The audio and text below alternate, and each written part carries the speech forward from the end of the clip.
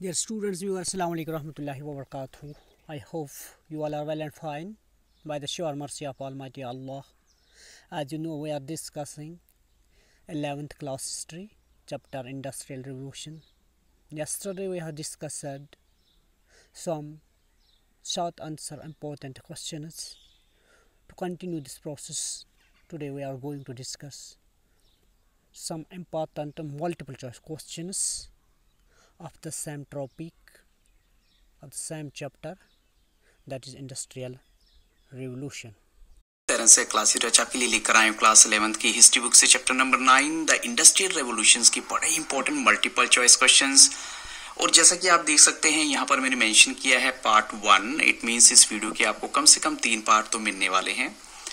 First question यहाँ देखिए the term the industrial revolution was used by European scholar या scholars option आपके सामने है जॉर्जिस मिशेल इन फ्रांस या फ्रेडरिक एंगल्स इन जर्मनी या फिर कहीं दोनों ही ऑप्शन यहाँ पर करेक्ट होंगे बोथ ही एन बी तो जो टर्म है द इंडस्ट्रियल रेवोल्यूशन वो यूज़ किया था दोनों ने ही जॉर्जिस मिशेल इन फ्रांस ने और फ्रेडरिक एंगल्स इन जर्मनी अब चलते हैं क्वेश्चन नंबर टू के लिए who use this term for the first time in English अब अगर इंग्लिश में इस टर्म की बात करें, सबसे पहले किसने दिया था तो ऑप्शन आपके सामने है by the writer and economist Arnold Toynbee और by the speaker and economist Arnold Toynbee और by the philosopher and economist Arnold Toynbee तो तीन ऑप्शन आपके सामने हैं और करेक्ट आंसर आपको बच्चों देना है।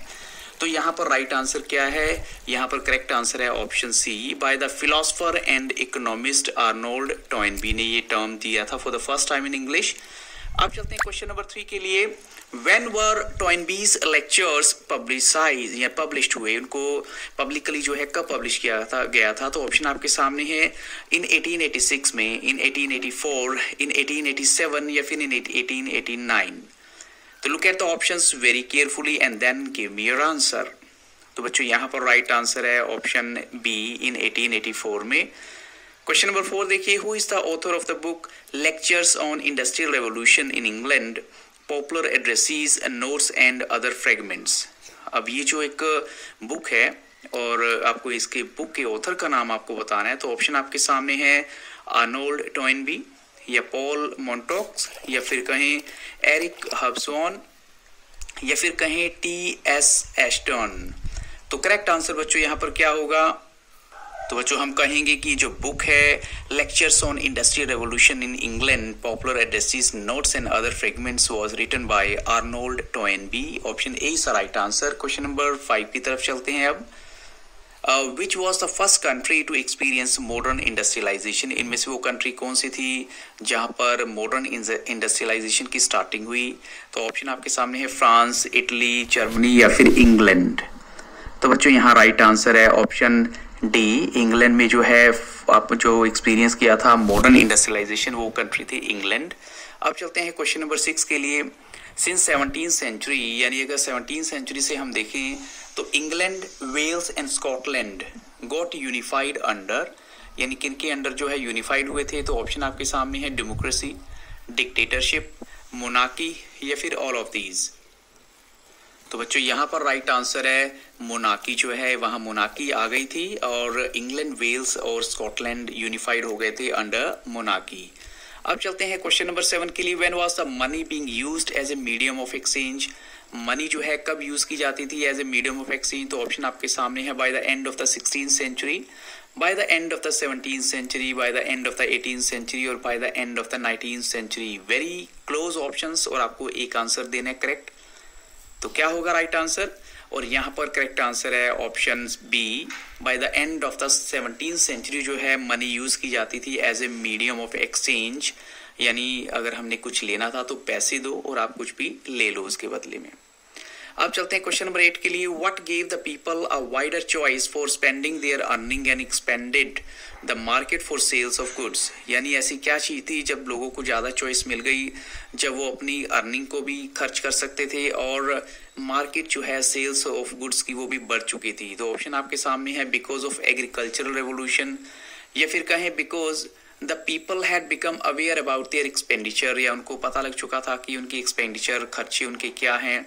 या because the large section of people were getting their income in the form of wages and salaries rather than in goods या काफ़ी सारे लोगों को अब जो अपनी इनकम जो है वो वेजेस के तौर पे मिलती थी सैलरीज के तौर पे मिलती थी गुड्स की बजाय, वस्तुओं की बजाय। तो इनमें से बच्चों, एक करेक्ट आंसर आपने देना है। तो बच्चों इस क्वेश्चन का राइट आंसर है ऑप्शन सी बिकॉज़ जो काफ़ी सारे लोगों को जो है अब अपनी इनकम वेजेस या सैलरीज के उसमें मिलती थी इंस्टेड ऑफ़ गुड्स अब चलते हैं नेक्स्ट क्वेश्चन के लिए। नेक्स्ट क्वेश्चन है आपका question number nine In the 18th century, the major economic change in England had been later described as यानी 18th सेंचुरी में जो मेजर इकोनॉमिक चेंज हुआ इंग्लैंड में उसको बाद में कैसे डिस्क्राइब किया गया था? Economic revolution agricultural revolution political revolution तो यहाँ पर राइट आंसर बच्चों क्या होगा? अगर एटीन सेंचुरी की बात करें तो it's very clear agricultural revolution यहाँ पर राइट आंसर है। जो मेजर इकोनॉमिक चेंज था इंग्लैंड में, उसको बाद में एग्रीकल्चरल रेवोल्यूशन का नाम दिया गया है। क्वेश्चन टेन देखिए from the eighteen century out of the nineteen European cities whose population doubled between seventy fifty and eighteen hundred तो 11 वर इन, यानी अगर 19 कंट्री तो हम कहें यूरोपियन सिटीज़ की पॉपुलेशन जो है सेवनटीन फिफ्टी से एटीन हंड्रेड के बीच में बढ़ गई थी डबल हो गई थी ऑलमोस्ट तो 11 जो है वो कहाँ पर थी? फ्रांस में थी, जर्मनी में थी, ब्रिटेन में थी, या फिर जापान में थी। तो बच्चों, यहाँ पर राइट आंसर है ऑप्शन सी यानी अकेली जो 11 सिटीज़ हैं, वो ब्रिटेन की थी, जहाँ पॉपुलेशन ऑलमोस्ट डबल हो गई थी। अब चलते हैं क्वेश्चन नंबर 11 के लिए। Which city became the centre of triangular trade network that drew in England Africa and West Indies इनमें से वो कौन सी सिटी थी जिसमें जो है ट्राइंगुलर ट्रेड जो तो है, चलता था? इंग्लैंड अफ्रीका और वेस्ट इंडीज तो यहाँ सेंटर था ऑलमोस्ट वो इन ट्राइंगुलर ट्रेड का। पेरिस, मिलान, फ्रैंकफर्ट या लंदन? तो बच्चों, यहाँ पर राइट आंसर है ऑप्शन डी वो थी जगह, वो सिटी थी लंदन। अब चलते हैं क्वेश्चन ट्वेल्व के लिए what was the name given to the coastal ships यानी कोस्टल शिप्स को क्या नाम दिया गया था? ऑप्शन आपके सामने है वेसल्स बिग बोस्ट कोस्टर्स तो यहाँ राइट आंसर बच्चों, क्या होगा? जो कोस्टल शिप्स को जो नाम दिया गया था, वो था coasters C O A S T E R S option C सा राइट आंसर क्वेश्चन थर्टीन है by eighteen hundred how many sailors worked on coasters कितने सेलर्स जो है कोस्टर्स पे काम किया करते थे? ऑप्शन आपके सामने है fifty thousand seventy thousand ninety thousand या वन लैख तो बच्चों, यहाँ पर करेक्ट आंसर क्या होगा? आपको अकॉर्डिंग टू द टेक्स्ट आपकी आंसर देना है। यहाँ पर करेक्ट आंसर है ऑप्शन डी वन लैख जो है, यानी ऑलमोस्ट आप कह सकते हैं वन लैख के आसपास लोग जो है काम किया करते थे कोस्टर्स पर। तो बच्चों, अब चलते हैं क्वेश्चन नंबर फोर्टीन के लिए।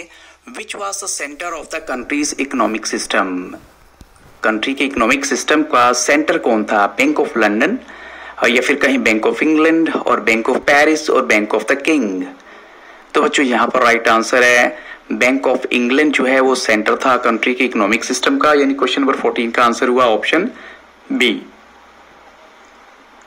अब चलते हैं नेक्स्ट क्वेश्चन के लिए question number fifteen when was the Bank of England founded यानी इसकी जो स्थापना कब हुई थी? तो ऑप्शन आपके सामने है इन 1694, 1678, 1698 या 1980 तो बच्चों यहाँ पर राइट आंसर है ऑप्शन ए इन 1694 में जो है इसकी स्थापना इसको जो स्थापित किया गया था फाउंड आउट किया गया था. अब चलते हैं क्वेश्चन 16 के लिए. How many inventions were recorded in the eighteen century कितनी जो इन्वेंशन जो है रिकॉर्ड की गई थी एटीन सेंचुरी में? Over twenty thousand over thirty thousand over fifteen thousand या फिर ओवर ट्वेंटी सिक्स थाउज़ेंड तो बच्चों, यहाँ पर इस क्वेश्चन का आंसर है almost option D over twenty six thousand हम कह सकते हैं। और ये भी चांस की बात है कि अगर हम ये कहें कि नियर अबाउट या छब्बीस हज़ार के आसपास जो भी इन्वेंशंस हुई हैं, उनमें से जो हाफ़ हैं या मोर देन हाफ़ हैं, वो पीरियड था 1782 से 1800 के बीच का। यानी इतनी ज़्यादा जो है, तब डेवलपमेंट हो चुकी थी इन्वेंशन होती जा रही थी लगातार। क्वेश्चन 17 देखिए which one of the following was not the major invention that was recorded in the eighteen century इनमें से वो इन्वेंशन कौन सी है जो ज़्यादा बड़ी नहीं थी, जो रिकॉर्ड नहीं हुई एटीन सेंचुरी में? तो ऑप्शन आपके सामने है the transformation of the iron industry और the spinning and weaving of cotton the coming of the railways और the development of the steam power तो यहाँ बच्चों, एक करेक्ट आंसर है, बताइए कौन सा आंसर होना चाहिए जो इनमें से जो है मेजर इन्वेंशन नहीं मानी गई है। और मैं आपको ये भी कहूँगा कि ऑप्शन ई भी आप देख सकते हैं, जिसमें नन ऑफ़ दीज का ऑप्शन भी आता है। तो हो सकता है कि हमें जो है सभी आंसर यहाँ करेक्ट मिले तो हमें ई ऑप्शन की तरफ़ जाना पड़े। तो क्या होगा राइट आंसर तो ऑफ़ कोर्स हम कहेंगे पहले चार जो ऑप्शन गिवन है, वो सब के सब करेक्ट हैं, क्योंकि वो मेजर इन्वेंशन थी तो none of this is the right answer here अब चलते हैं क्वेश्चन नंबर एटीन के लिए. In which form was the iron drawn out of the ore यानी ओर से जब आयरन को लिया जाता है, किस फॉर्म में लिया जाता है? तो ऑप्शन आपके सामने है. As a pure solid metal by a process called pigmentation या फिर कहीं as a pure solid metal by a process called smelting या as a pure liquid metal by a process called smelting तो यहाँ पर तीन ऑप्शन है और राइट right आंसर आपको देना है। और यहाँ पर राइट आंसर है बच्चों option C as a pure liquid metal by a process जिसे हम कहते हैं स्मेल्टिंग अब चलते हैं नेक्स्ट क्वेश्चन के लिए question number 19 for centuries charcoal had been used for smelting process which one of the problem is associated with the use of the charcoal इनमें से कौन सी प्रॉब्लम जो है चारकोल से कनेक्टेड थी, जुड़ी हुई थी? तो ऑप्शन है charcoal was too fragile to transport across long distances यानी इतना कमज़ोर होता था, इतना वीक होता था कि इसे ट्रांसपोर्ट करना बड़ा मुश्किल होता था लॉन्ग डिस्टेंसेस पे।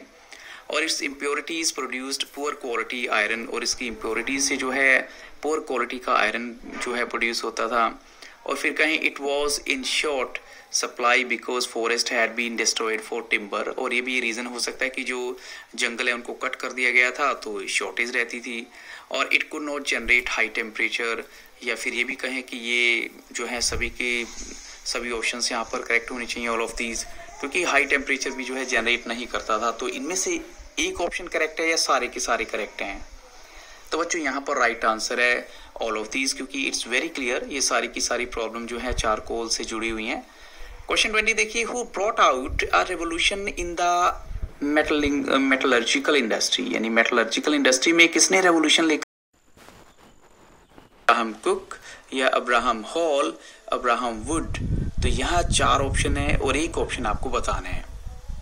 और वो करेक्ट आंसर है बच्चों ऑप्शन ए अब्राहम डार्बी जो है वो लेकर आए थे revolution in the metallurgical industry में। अब चलते हैं क्वेश्चन नंबर ट्वेंटी वन के लिए। Who invented a blast furnace and when blast furnace की इन्वेंशन किसने की और कब? The first Abraham Darby in 1709 the second Abraham Darby in 1709 या फिर कहें the third Abraham Darby in 1709 तो एक ऑप्शन करेक्ट है और करेक्ट आंसर आपको बताना है। Yes the right answer is option A the first Abraham Darby in 1709 और इसी क्वेश्चन के साथ इस वीडियो को भी यहाँ स्टॉप करूँगा but I you will have to wait for the second part so keep on watching Taran sir classes and have very nice day